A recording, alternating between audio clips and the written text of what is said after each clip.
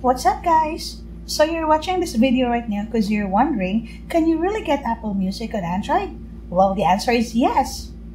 Before that, if you're new to this channel, please subscribe and hit the bell button to be updated with our latest upload. So maybe you've just switched from iPhone to Android and you want to continue your Apple Music subscription in your Android phone. That's actually what I will show you now on how to do it. In your Android phone, let's open Play Store. Search for Apple Music. Now, for some reason, when you don't see the Apple Music in the Play Store, or maybe your country does not support Play Store, don't worry. I'll show you how to solve the problem in this video. So let's download Apple Music. After download, let's open it. If you already have subscription on the Apple Music, you can just log in your account and your subscription will continue. If you don't have anyone yet, then you can create a new one. So there you go, Apple Music on your Android device. Now, if you don't see Apple Music in your Play Store or your country doesn't have Google Play, there's a solution for that. Let us first uninstall the Apple Music to start fresh.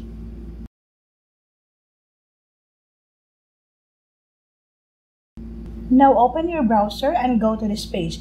I'll put the link in the description below for easy access. Scroll down, then click this link download the Apple Music app here. Then click download. So there's a pop-up to download Apple Music APK. Just click OK. Then it will start to download the application. So after download, just click open and then click install. After install, just click open. Scroll down and agree with the terms and conditions and then log in with your Apple Music account. So after that, enjoy Apple Music in your Android device. I hope you learned something from this video. Please like and subscribe if you haven't yet. It will help us create more videos like this for you.